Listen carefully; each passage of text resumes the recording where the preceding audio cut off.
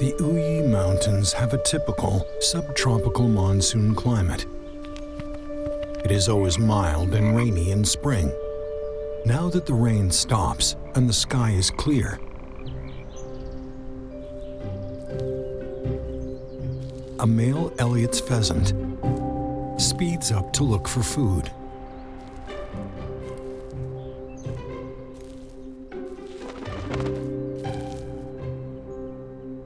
Stems and leaves of the China milk vetch and the spike moss are its favorite food.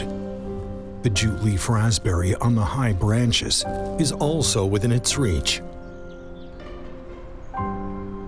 The family just welcomed several new members.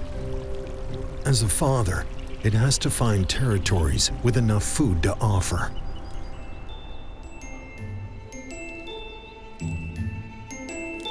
Five Elliot pheasant chicks go out with their mother looking for food. The Elliot's pheasant species generally practices polygyny. They breed only once a year. The mother takes meticulous care of their chicks. Still new to the world, the chicks are curious about everything, which makes their mother more worried, staying vigilant for the sign of trouble. Being endemic to China, the Elliot's pheasant is a first-class state-protected animal. The mature male bird has the back of the neck in taupe. Both sides of the neck manifest grayish-white, with metallic luster on the back. The female bird is brown on the whole body. Its throat is dotted with black spots. Pheasants are one of the ancestors of modern poultry.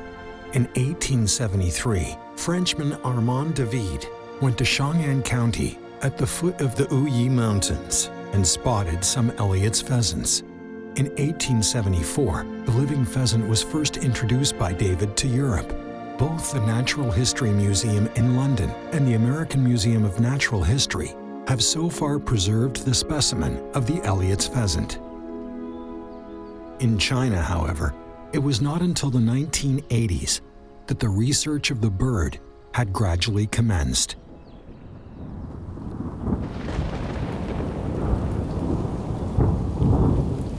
As spring comes to the Wuyi Mountains, everything revives with a promising prospect. An unexpected shower brings vibrancy to the whole forest.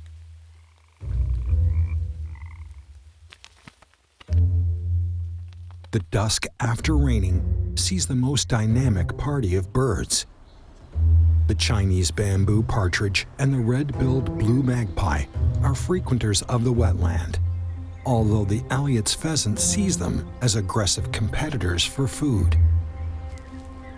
These fast-growing fledglings need to feed six to seven times a day, which means their busy mothers have much more jobs to do.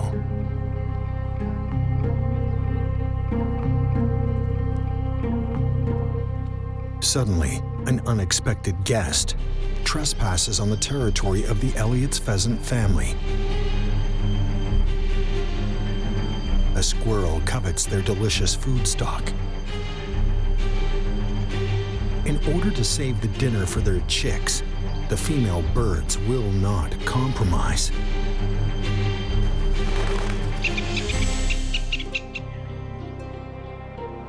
Mothers have taught the chicks well. In several months, they will leave their mother's protection and face the world on their own.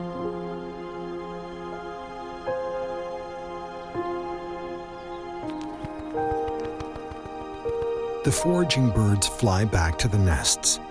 The father has found another turf with abundant food. He can't wait to bring the news back home before sunset.